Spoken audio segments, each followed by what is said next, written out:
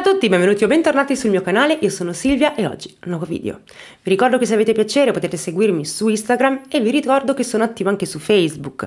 Vi lascio il link nell'info box e vi dico che lì su Facebook carico qualche video inedito di casi italiani, quindi se avete voglia di ascoltare casi italiani venite a fare un salto. Detto questo, diamoci dentro col video.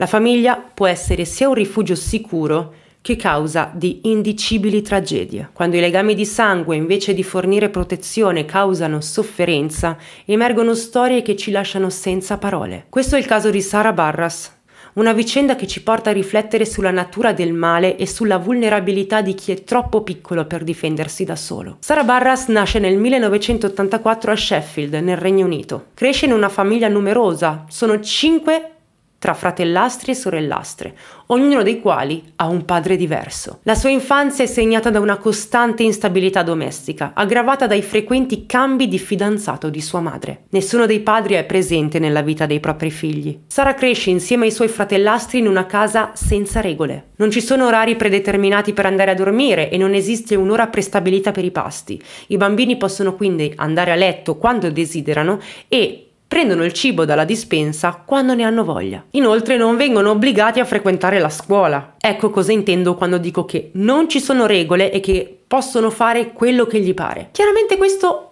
non è il modo migliore di crescere dei bambini, ma anche l'ambiente in cui crescono è tutt'altro che ideale. Molte persone losche entrano ed escono da quella casa e i bambini sono circondati fin dalla nascita da adulti che consumano abbondantemente alcol e sostanze e che hanno comportamenti inappropriati. La madre è chiaramente negligente, ma non è finita qui, perché questi bambini subiscono anche diversi abusi intimi. Sara in particolare subisce questi abusi fin dalla tenera età, da una serie di persone diverse. Non conosco le loro identità, né cosa abbiano fatto nel dettaglio su questa parte della storia, quindi non posso fornirvi maggiori informazioni. I servizi sociali vengono a conoscenza di questa situazione e a un certo punto Sara e i suoi fratellastri vengono portati via da quella casa.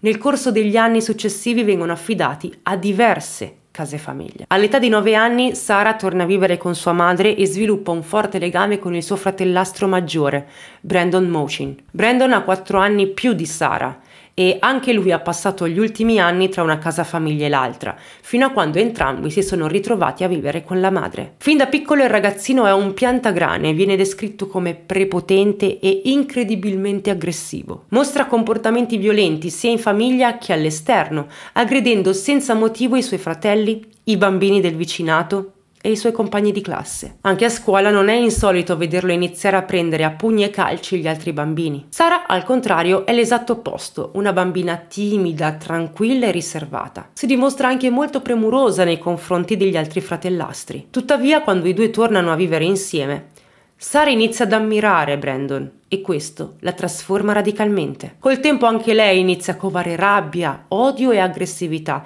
imitando il comportamento del fratellastro. Comincia a litigare con i compagni di scuola e prova particolare piacere nell'osservare Brandon picchiare gli altri ragazzini. I due non si limitano a mostrarsi violenti e prepotenti, con gli altri bambini, ma lo fanno anche con i loro fratellastri. In un'occasione Brandon afferra suo fratello Martin per la caviglia lo tiene sottosopra e gli sbatte la testa ripetutamente sul pavimento, mentre Sara si gode la scena e ridacchia. Successivamente Sara inizia a imitare il comportamento del suo fratellastro, in un'occasione spinge la sua sorellastra giù da un albero, causandole molto dolore. Sara adora Brandon e il loro passatempo diventa infliggere dolore e fare i prepotenti con gli altri. Entrambi sviluppano ben presto un'ossessione per i film horror. Ovviamente non c'è nulla di male nell'appassionarsi a questo genere di film, ma Sara è molto giovane e si fissano su questa tipologia di film per le ragioni sbagliate. Guardano ripetutamente Nightmare on Elm Street, Freddy Krueger è il loro idolo e amano qualsiasi cosa che coinvolga sangue e viscere. Purtroppo questa ossessione per il sangue e le viscere si trasforma in un passatempo molto inquietante fare del male ad animali innocenti. Quando trovano dei nidi di uccelli nel loro quartiere uccidono i piccoli lanciando delle pietre. e la cosa peggiore è che si divertono molto. In seguito Brandon e Sara decidono di uccidere anche i topini domestici della famiglia. Così un giorno i due aprono la gabbia, lasciano che i topini corrano sul pavimento per poi iniziare a calpestarli a morte. Gli altri bambini presenti in casa rimangono a guardare inorriditi definendoli psicopatici. Negli anni successivi la situazione in casa non migliora affatto, i bambini continuano a essere trascurati e abusati.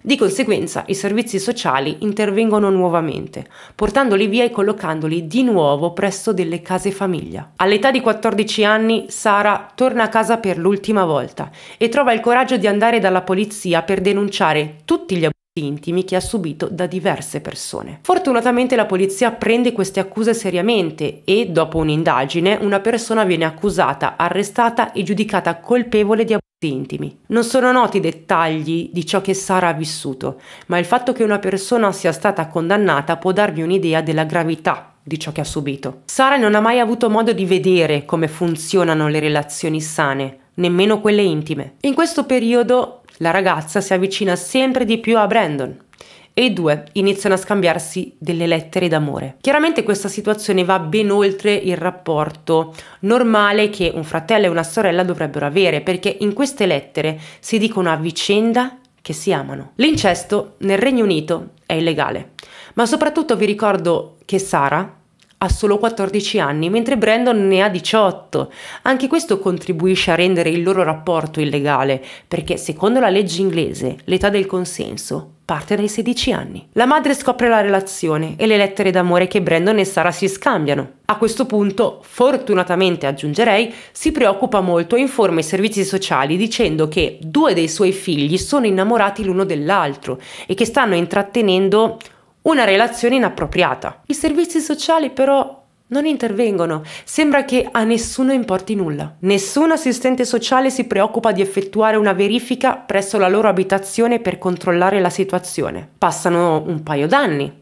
Sara raggiunge l'età del consenso e la sua relazione con Brandon diventa anche intima. Pare però che i due ragazzi non abbiano idea di che cosa voglia dire usare le protezioni, perché Sara all'età di 19 anni rimane incinta. La coppia ormai è inseparabile, sembrano quasi due anime gemelle, se solo non fossero imparentati tra loro. Sara non solo è la madre del bambino che è in grembo, ma risulta anche essere la zia, così come Brandon è sia il padre che lo zio. La ragazza dà alla luce un bambino che verrà chiamato Blake e decide che nessuno, e dico nessuno, dovrà venire a conoscenza dell'identità del padre. È chiaramente imbarazzata e ovviamente non vuole far sapere che il padre del suo bambino è il suo fratellastro. Mentre era in ospedale per partorire, le è stato chiesto dove fosse il padre e lei aveva affermato che lui non desiderava essere coinvolto nella vita del bambino quindi sarebbe stata una madre single. A questo punto anche Brandon concorda con Sara, nessuno deve conoscere l'identità del padre di Blake. Così il bambino cresce, senza avere la minima idea di chi sia suo padre. Sara vive da sola con Blake, mentre Brandon, per non destare sospetti, risiede in un alloggio situato in fondo alla via,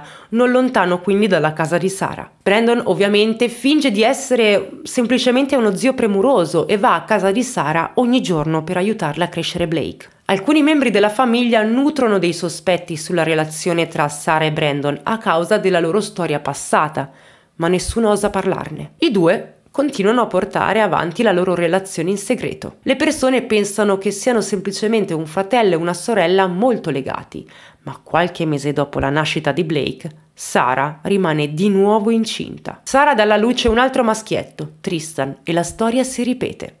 Quando in ospedale le chiedono chi sia il padre del bambino, Sara afferma che il padre non vuole essere coinvolto. La coppia ora ha due figli, Blake e Tristan. Si potrebbe pensare che abbiano imparato la lezione e che, se continueranno ad avere rapporti, inizieranno a usare le protezioni. Tuttavia, questo non accade perché nei due anni successivi Sara resta incinta altre due volte e dà alla luce altri due bambini. I nomi di questi due bambini non sono noti, le loro identità sono protette. Sara quindi ha dato alla luce quattro figli in quattro anni. Ogni volta che va in ospedale per partorire, Sara dice sempre la stessa cosa. Tutti i bambini hanno lo stesso padre, che però non è interessato a prendersi cura di loro. A mio avviso a questo punto l'ospedale avrebbe dovuto rendersi conto che c'è qualcosa che proprio non va. Questa donna è andata lì quattro volte in quattro anni affermando che questi bambini non hanno un padre disposto a prendersi cura di loro. I servizi sociali avrebbero dovuto indagare e occuparsi della situazione per assicurarsi che tutto andasse bene ma sembra che nessuno si ponga delle domande. Quando Sara compila il documento sulla nascita dei bambini, conferma sempre che il padre non è un consanguineo. Negli anni successivi, Sara e Brandon vivono una vita segreta. Hanno dei rapporti intimi, ma lei vive in una casa da sola con i suoi quattro figli e finge di essere una mamma single, mentre Brandon continua a vivere nella casa in fondo alla stessa via e ogni giorno va a casa di Sara per darle una mano a crescere i loro quattro figli. Il tempo passa, i bambini crescono crescono e naturalmente iniziano a fare delle domande sul loro papà. Chiedono a Sara chi sia loro padre, quale sia il suo nome, quanti anni abbia. I piccoli, come ovvio che sia, vogliono anche sapere perché il padre non è nella loro vita. Così Sara decide di dire ai bambini diverse bugie. Ad esempio gli racconta che loro padre è un eroe di guerra, morto durante la seconda guerra mondiale. Una cosa ovviamente impossibile dato che la guerra è finita 60 anni prima che i bambini nascessero. Ma per ora essendo piccoli, non mettono in discussione i racconti della madre. Sono quindi convinti che loro padre sia morto e che l'uomo che va a casa loro ogni giorno, Brandon, sia solo uno zio. Nel corso degli anni, quando i bambini crescono, Brandon e Sara si rendono conto che i bambini hanno significative disabilità dello sviluppo. A Blake, il figlio maggiore, viene diagnosticato l'autismo e la DHD. Ha anche grandi difficoltà a comunicare e a parlare, così viene indirizzato da uno specialista del linguaggio. Al secondo genito Tristan viene diagnosticato un disturbo da deficit dell'attenzione. Anche lui ha grossi problemi a parlare e a comunicare e soffre di gravi allergie. Viene portato anche lui da uno specialista. Anche se non è noto di cosa soffrissero esattamente i due bambini più piccoli,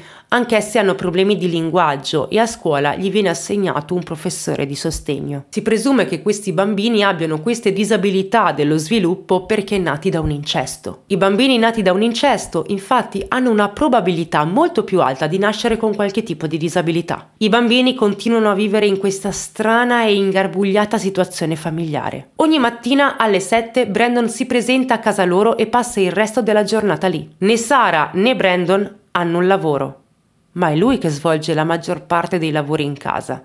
Cucina, pulisce, controlla i bambini. È lui che gli cambia i pannolini il più delle volte, che si preoccupa di farli mangiare, che si assicura che vadano tutti a scuola. È sempre lui a fare la spesa. Brandon in pratica si occupa di tutto e deve anche servire e riverire Sara. Questo è strano perché durante il periodo della crescita era Brandon il dominante tra i due, ma ora che entrambi sono adulti, sembra che i loro ruoli si siano invertiti. Ora è Sara a comandare a bacchetta Brandon. La donna trascorre la maggior parte del tempo seduta sul divano e Brandon è pronto a portarle qualsiasi cosa chieda, come ad esempio cibo o bevande. Le fa perfino dei massaggi ai piedi e si occupa del bucato. Sara in pratica non muove un dito in casa. Brandon è presente anche quando Sara ha incontri con gli assistenti sociali riguardo i bisogni speciali dei suoi figli, ma loro continuano a non fare domande. Non chiedono dove sia il padre biologico dei bambini né perché lo zio sia così presente. La famiglia di Brandon e Sara, così come i suoi amici,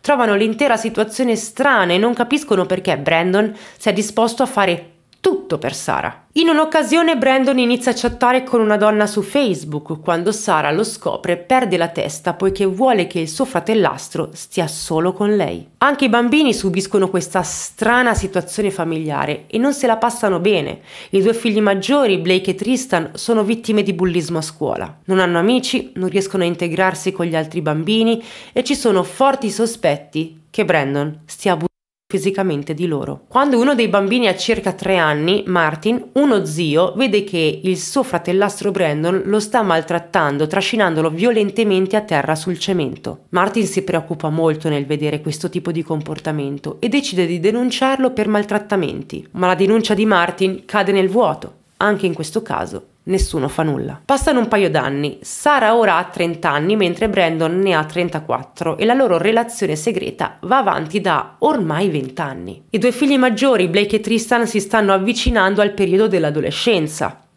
Ed è a questo punto che Sara e Brandon prendono una decisione alquanto sconsiderata.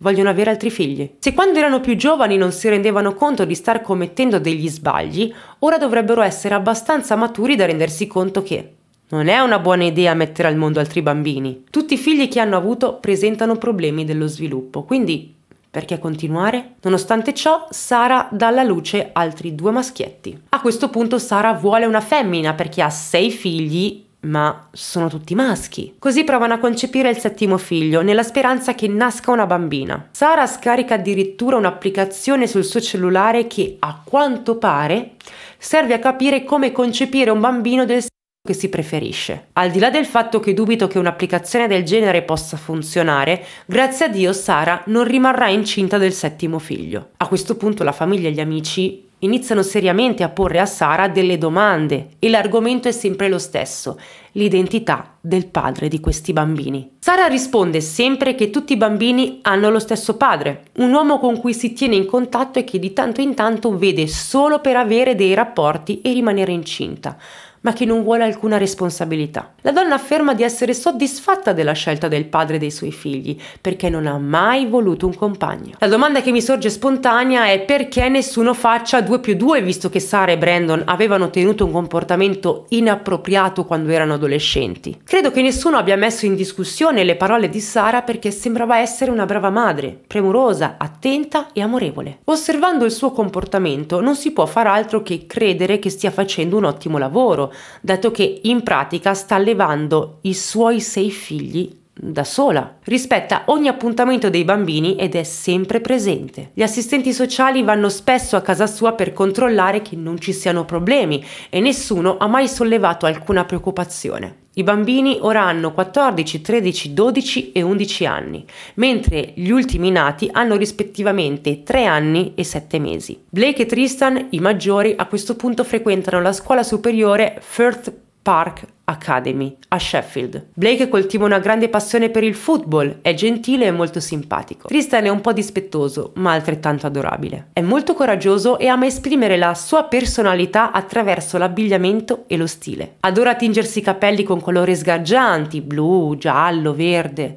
Talvolta, però, finisce nei guai a scuola proprio per questo motivo. Nel 2017 Tristan appare anche in tv sulla BBC in un programma che segue il passaggio dei bambini della scuola media alla scuola superiore. In questo programma Tristan afferma che a uno dei suoi più cari amici è stato diagnosticato un cancro alle ossa. Il ragazzino si tinge i capelli di giallo a sostegno del suo amico dato che è il suo colore preferito. Tristan cerca anche di raccogliere del denaro da dare in beneficenza per sostenere la ricerca contro il cancro. Questo dimostra quanto sia un bambino veramente dolce e adorabile che si preoccupa davvero per i suoi amici. Tuttavia, nel 2018 diventa chiaro che sia Blake che Tristan Afghanistan iniziano ad avere problemi comportamentali. Per i seguenti 18 mesi i due fratelli si ritrovano costantemente nei guai e i servizi sociali visitano la loro casa per un totale di 13 volte, scoprendo che i problemi non mancano. Blake e Tristan sono ossessionati dai siti hot presenti online, a cui accedono tutti i giorni e addirittura più volte al giorno. Se hanno 5 minuti di tempo libero, navigano su quei siti, indipendentemente da dove si trovino. Guardano quei siti a scuola, a casa e persino quando sono con gli amici. Sara cerca di mettere fine a questa situazione vietando l'uso di internet ai due ragazzini e requisendo loro i cellulari e gli altri dispositivi elettronici. Anche la scuola gli vieta l'accesso a internet e i servizi sociali chiedono a Sara di non permettere loro di tenere chiusa la porta della camera da letto. In questo modo Sara può tenerli d'occhio costantemente. Emerge anche che Blake talvolta ha delle conversazioni alquanto spinte con degli sconosciuti su internet. Uno di questi uomini si spinge oltre e chiede a Blake di inviargli una foto delle sue parti intime. Questo è veramente preoccupante e la colpa in questo caso non è di Blake visto che è solo un ragazzino, ma il fatto che acceda delle chat del genere che parli con questo tipo di persone è comunque un grosso problema. Quando Sara lo scopre si infuria, ma purtroppo la situazione non fa che peggiorare. I due ragazzi iniziano ad assumere comportamenti violenti e aggressivi, continuano ad essere vittime di bullismo e il loro modo per affrontare la situazione e scatenare delle risse. Se ricordate, Sara e Brandon, quando erano ragazzini, si comportavano in modo molto simile. Esattamente come i loro genitori, anche Blake e Tristan sviluppano un'ossessione per i film horror molto violenti. Ma il loro interesse non si limita ai film horror, in realtà amano guardare video i cui argomenti centrali sono la violenza e le armi da fuoco. Blake e Tristan inoltre diventano aggressivi nei confronti dei loro fratelli, proprio come facevano i loro genitori. In un'occasione Blake decide di rubare l'auto di sua zia per fare un giro. Ovviamente dicendo zia non mi sto riferendo a Sara, che è sia loro madre che loro zia, ma alla sorellastra di Sara. Tristan inoltre inizia a portare con sé a scuola un coltello. Il timore non è tanto che con quell'arma faccia del male a qualche allievo, ma che possa farlo a se stesso. Infatti in questo periodo il ragazzino sviluppa anche dei pensieri suicidi. In un'occasione dice a sua madre Sara delle parole terribili Dice di voler prendere un coltello e conficcarglielo nel cuore. Sara chiaramente è molto preoccupata, riferisce l'accaduto agli assistenti sociali. Tristan viene quindi sottoposto a una valutazione urgente della salute mentale.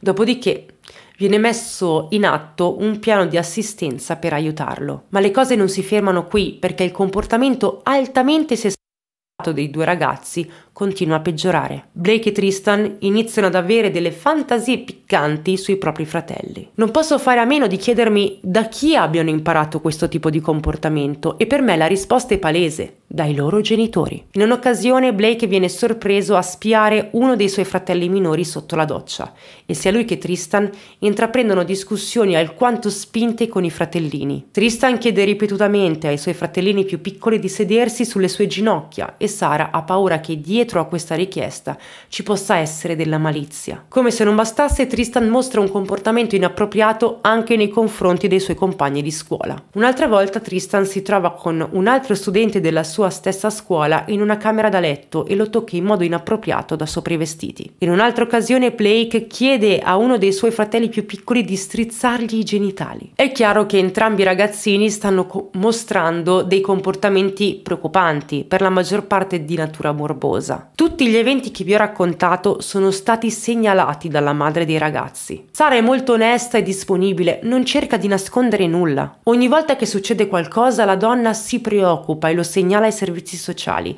che le consigliano di non lasciare mai i due ragazzi più grandi da soli con i più piccoli. Sara in passato ha indubbiamente commesso degli errori, ma ora sta facendo le scelte giuste, sta cercando di chiedere aiuto, permette ai servizi sociali di entrare in casa, non manca mai a nessun appuntamento. Ma i comportamenti di Blake e Christian sono sempre più fuori dal suo controllo e sempre più allarmanti e nessuno la sta aiutando in modo concreto. Vi ricordo che Sara durante l'infanzia ha subito degli abusi intimi e ora è angosciata e teme di aver allevato dei piccoli mostri che una volta cresciuti diventeranno dei predatori. Desidera evitare che ciò accada e ha paura che se non risolverà il problema la situazione peggiorerà Ecco perché è così onesta e aperta al dialogo con i servizi sociali. In un'altra occasione Sara comunica agli assistenti sociali di voler coinvolgere la polizia affinché Blake e Tristan vengano arrestati. In effetti c'è un altro grande cruccio che perseguita la donna. Non vuole che le portino via Blake e Tristan per affidarli a qualche casa famiglia. Sara è terrorizzata da questa eventualità. Lei stessa da bambina ha passato molto tempo in affidamento e ha subito dei maltrattamenti. Per questo motivo quando parla con gli assistenti sociali si contraddice spesso. Dice cose come i miei ragazzi stanno diventando dei mostri, ho bisogno del vostro aiuto, ma poi aggiunge anche per favore, per favore non portatemeli via, non dateli in affidamento. Ogni singola volta i servizi sociali le assicurano che non succederà, ma Sara è paranoica e non crede alle loro parole. In pochi mesi la paranoia della donna aumenta sempre di più. Ora teme che non solo le vengano tolti i figli più grandi, ma anche gli altri. Arriviamo al maggio del 2019. Tristan viene accusato di aggressione intima da un genitore di un bambino che frequenta le elementari. L'esatta natura di questa aggressione non è nota perché non è stata resa pubblica, ma vengono coinvolte le autorità. Si presume quindi che si tratti di una questione molto seria. I servizi sociali di conseguenza incontrano Sara e le chiedono qualcosa che la coglie completamente alla sprovvista. Vogliono sapere chi è il padre biologico di Tristan e Blake. Sara ha mantenuto questo segreto proprio con tutti, quindi è vero, è sempre stata molto onesta con i servizi sociali, ma non ha mai detto la verità riguardo al padre biologico dei suoi figli. Di conseguenza, nessuno sa che in realtà il padre di Tristan, Blake e di tutti gli altri bambini è il suo fratellastro Brandon. Anche adesso non ha alcuna intenzione di dire la verità perché è certa che le porterebbero via tutti i suoi figli. Ma gli assistenti sociali sono irremovibili, vogliono sapere chi sia il padre biologico di questi due ragazzini. Questo perché c'erano stati troppi problemi con Blake e Tristan, per la maggior parte di natura a questo punto gli assistenti sociali sono molto preoccupati perché Tristan e Blake hanno 13 e 14 anni, quindi sono molto, molto giovani e temono che i due ragazzini possano aver subito degli abusi intimi da parte del loro stesso padre. Credo sia un timore lecito, sono molto piccoli, quindi dove hanno imparato a comportarsi così? A cosa sono stati esposti?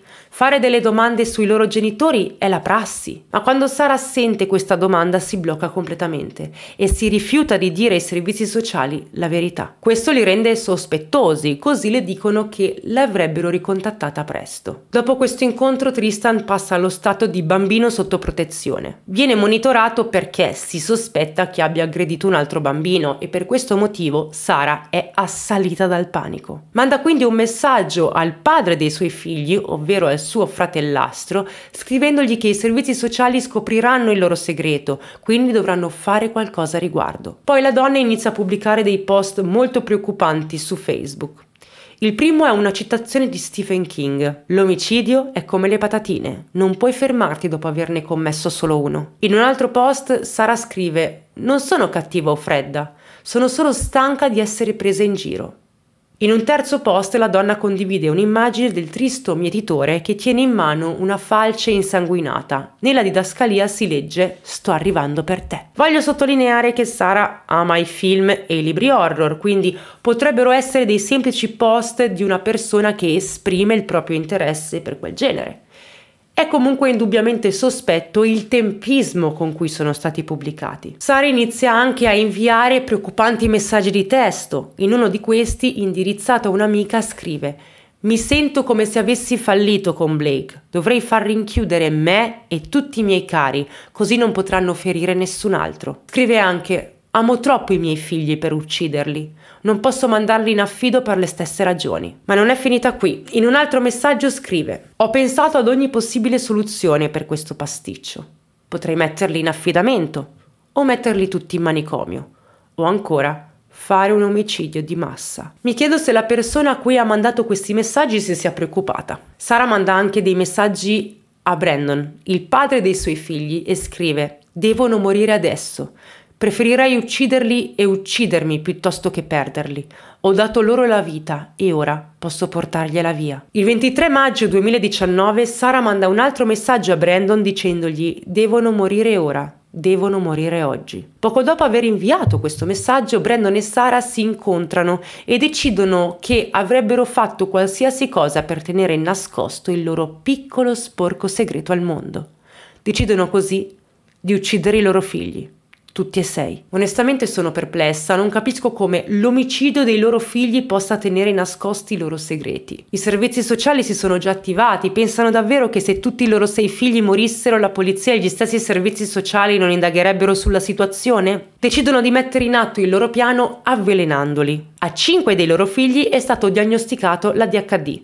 Sarà quindi decide di andare alla farmacia locale per acquistare i loro farmaci. Quella stessa sera la donna inizia a inviare dei messaggi a un'amica di famiglia dicendo che i suoi figli sono malati e non sarebbero potuti andare a scuola il giorno dopo. Più tardi, poco prima di andare a dormire, Sara e Brandon mettono insieme tutti i farmaci per la DHD che sono riusciti a recuperare e costringono i quattro bambini più grandi a ingoiare quante più pillole possibile. I bambini non vogliono farlo, ma Sara e Brandon gli fanno pressione e loro si fidano della loro mamma e dello zio, quindi assumano quelle medicine. Al momento Sara e Brandon sono concentrati sui quattro bambini più grandi, Onestamente non ho trovato informazioni su quale fosse il loro piano per i bambini più piccoli. Non so quante pillole abbiano ingerito i quattro figli maggiori, ma chiaramente una quantità che i loro genitori ritengono letale. Li fanno andare a letto e anche Sara va a dormire, mentre Brandon torna a casa sua. Il giorno successivo, la mattina del 24 maggio, Sara va a controllare i suoi quattro figli maggiori, si aspetta di trovarli tutti morti nei loro letti.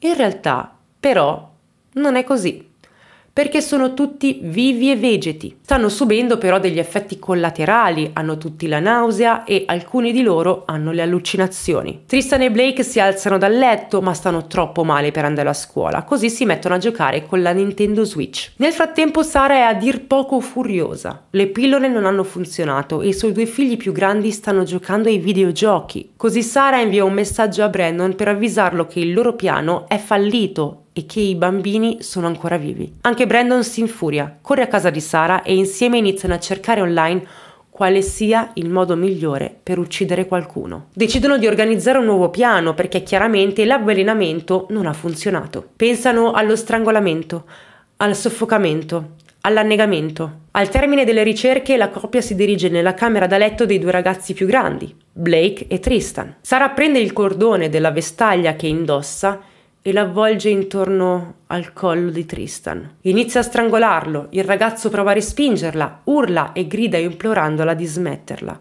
ma Sara non si ferma e continua a stringere per quasi tre minuti. Blake è presente in camera e vede tutta la scena.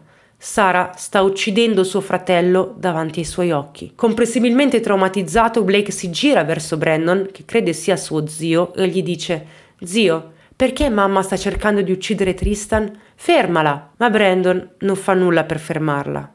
Anzi, si avvicina a Blake e inizia a strangolarlo con le sue stesse mani. Non è nota la posizione degli altri bambini in quel momento, spero solo che non fossero così vicini da sentire la scena dell'orrore che si stava svolgendo in quella camera da letto. Dopo che Sara e Brandon finiscono di strangolare i loro stessi figli, li lasciano sul pavimento, senza vita. Vogliono però assicurarsi che siano morti per davvero, così gli mettono dei sacchi della spazzatura sulla testa. Ma non è ancora finita, perché hanno altri quattro figli da uccidere. Sara e Brandon vanno in bagno. Riempiono d'acqua la vasca, prendono il loro terzo figlio e tentano di annegarlo. Il bambino ha solo 12 anni, scalcia e urla e quando la sua testa riemerge dall'acqua, urla alla mamma e allo zio perché state cercando di uccidermi. Fortunatamente questo tentativo di omicidio fallisce ma il motivo non è chiaro. Forse la coppia non è più convinta di portare a termine il piano? Sara, dopo questo tentativo fallito, inizia a essere assalita dal panico. In lei si fa strada la certezza che non riuscirà a farla franca uccidendo tutti e sei i suoi figli. Ma ne ha già uccisi due. Così la donna decide di incolpare solo Brandon, il suo fratellastro e il padre dei suoi figli. Sara prende i quattro bambini rimasti e si barrica nella camera da letto. Anche il quarto figlio, che ha 11 anni, è abbastanza grande per capire quello che sta succedendo. I due bambini più piccoli invece non so quanto siano coscienti di ciò che sta accadendo. Il più grande ha 3 anni mentre il più piccolo ha solo 7 mesi. In quella camera da letto c'è molta confusione e i due bambini più grandi sono terrorizzati senza contare che stanno ancora subendo gli effetti delle pillole per l'ADHD. Sara nel frattempo inizia a scrivere diversi appunti sull'applicazione delle note del suo cellulare. Brandon è il padre di tutti i bambini, le pillole non hanno funzionato, quindi mi ha obbligata a uccidere Tristan, mentre lui ha ucciso Blake. Sono seduta qui con gli altri bambini che lui vuole uccidere. Ha anche cercato di annegare il terzo figlio, ma non ci è riuscito.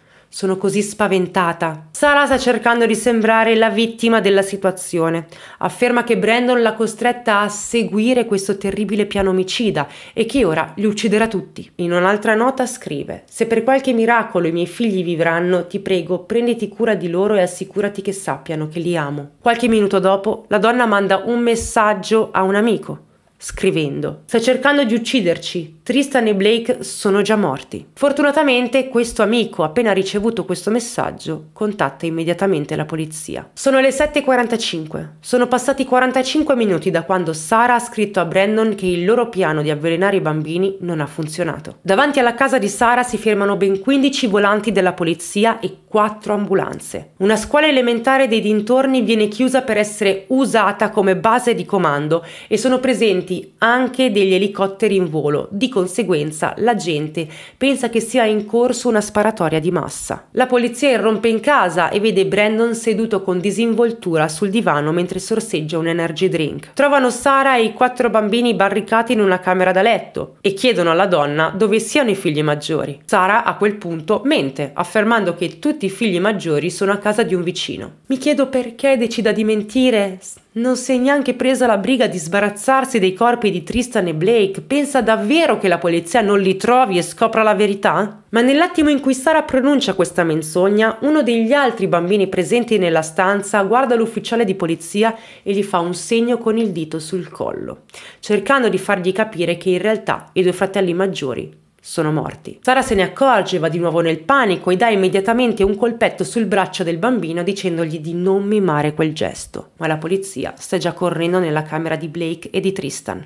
Gli agenti trovano i due corpi apparentemente senza vita, ancora con i sacchi della spazzatura in testa. Li tolgono e si rendono conto che i due ragazzi sono ancora vivi. Blake e Tristan vengono portati d'urgenza in ospedale, ma ormai è troppo tardi. I due ragazzi muoiono a 12 minuti di distanza l'uno dall'altro. Questi sono due omicidi così insensati. Come hanno potuto fare una cosa del genere per coprire la loro relazione incestuosa? E soprattutto mi domando come abbiano potuto credere che il loro piano potesse funzionare. Sara e Brandon vengono arrestati e i quattro bambini sopravvissuti vengono portati immediatamente in ospedale. I più piccoli fortunatamente non hanno riportato conseguenze fisiche, mentre invece il dodicenne e l'undicenne non versano in buone condizioni. Entrambi stanno ancora sperimentando gli effetti collaterali dell'overdose di pillole, vomitano e hanno le allucinazioni.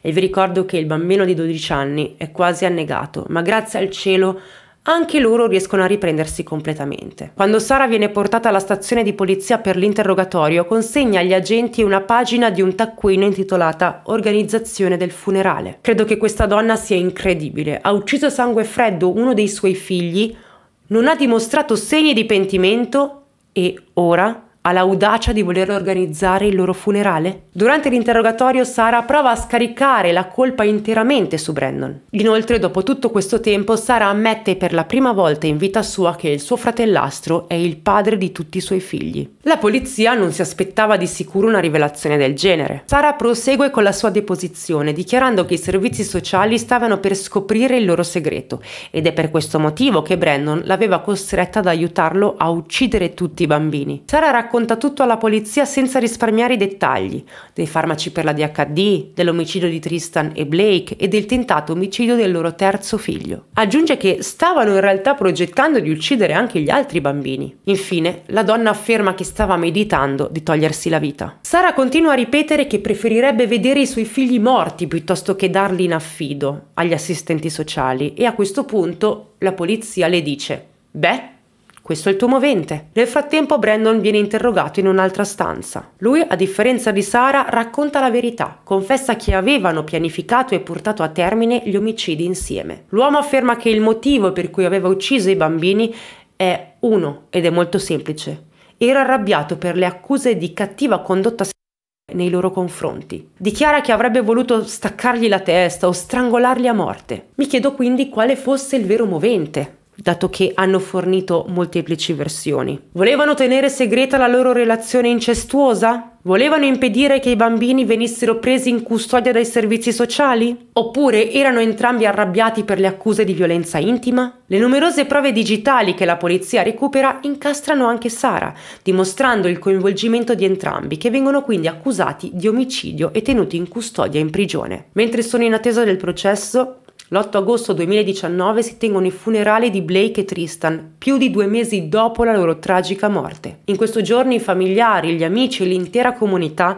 si riuniscono per dire loro addio. I due ragazzi amavano le moto e le auto veloci e quando la comunità lo viene a sapere, organizza una processione di oltre 300 moto e due Lamborghini per portare le loro bare presso l'ultima dimora. Sia Sara che Brandon avevano confessato e la polizia aveva raccolto numerose prove. Così la coppia si rende conto che è nel loro interesse stipulare un patteggiamento. Nel settembre del 2019 Entrambi si dichiarano colpevoli di due capi di omicidio, uno di tentato omicidio e sei capi di cospirazione per uccidere tutti i loro figli. Due mesi dopo, nel novembre del 2019, Sara e Brandon vengono condannati all'ergastolo con un minimo di 35 anni. Non posso fare a meno di pensare ai poveri quattro bambini superstiti e a quanto siano rimasti traumatizzati. I due più grandi, di 11 e 12 anni, hanno assistito a ciò che è accaduto quel giorno e sicuramente lo ricordano molto bene. Oltre a cercare di elaborare l'accaduto, e non è facile accettare che i loro due fratelli maggiori siano stati assassinati dalla loro mamma, ora hanno anche appreso che lo zio che conoscono da sempre è in realtà il loro padre biologico. I due bambini più grandi ammettono di essere terrorizzati e preoccupati di diventare come i loro genitori, perché temono di trasformarsi in assassini mostruosi. Entrambi continuano a dire di volere che la loro mamma e Brandon restino in prigione per i prossimi 300 anni. Spero vivamente che questi quattro bambini oggi stiano meglio e che presto possano riprendersi del tutto. Voglio dedicare l'ultima parte di questo video per ricordare le due piccole vittime del caso di oggi. Blake Barras è stato descritto come un ragazzo gentile e premuroso, che amava il football e le auto sportive. Amava far sentire amate le persone che lo circondavano e aveva la capacità innata di far sorridere chiunque, anche durante una brutta giornata. Si preoccupava per tutti e aveva un cuore così grande. Sua madre gli ha tolto la vita così presto aveva solo 14 anni. Tristan Barras è stato descritto come un ragazzino dolce e amorevole, un po' dispettoso, certo, ma dotato di gran coraggio. Amava esprimersi attraverso i vestiti e i capelli colorati. Suo padre gli ha tolto la vita così presto, aveva solo 13 anni. E questo ci porta alla fine di questo video e alla conclusione di questo caso, che io trovo devastante, è terribile. E mi chiedo realmente come questa donna e quest'altro e questo uomo pensassero che a ucciderli, ammazzarli tutti, fosse un buon modo per passarla liscia, per farla franca. Perché? Perché i servizi sociali già avevano messo la lente di ingrandimento su di loro, li stavano già tenendo d'occhio e lei di certo ha fatto la cosa giusta chiamandoli, però ha anche attirato molto la loro attenzione. È così triste perché queste situazioni spesso culminano in fatti così tragici e quando ormai si è passata la linea, quando ormai si è commesso l'omicidio, molto spesso queste persone, i protagonisti di questi casi, si rendono conto che è tutto inutile che li avrebbero scoperti comunque. E quindi mm, forse sarebbe stato meglio essere onesta, però penso che Sara si vergognasse davvero tanto. Non credo che lui si vergognasse, Brandon si vergognasse così tanto, lui non credo, ma Sara secondo me sì, tantissimo. E, e quindi è arrivata a pensare di fare un gesto così estremo. La trovo una cosa davvero assurda e non, non vi so neanche dire se hanno mostrato pentimento. Non ve lo so dire perché non ho trovato fonti a riguardo. Io spero davvero che questi quattro bambini superstiti riescano a stare meglio, riescano a mettersi alle spalle questa brutta brutta storia e riescano a vivere al meglio la loro vita, perché se lo meritano. Detto questo, io ho finito di parlare in questo video, quindi fatemi sapere quello che volete qui sotto nei commenti, conoscevate questo caso, cosa ne pensate di questo caso, insomma fatemi sapere le vostre sensazioni, le vostre emozioni, cosa vi ha suscitato il racconto di questo caso. Io nel frattempo vi mando un bacione, noi ci vediamo prestissimo al prossimo video, mi raccomando fate i bravi, continuate a mangiare le verdure che continuano a far bene, ma soprattutto prendetevi cura di voi e fate ciò che vi rende felici. Basta che non facciate nulla di criminale. Ciao a tutti!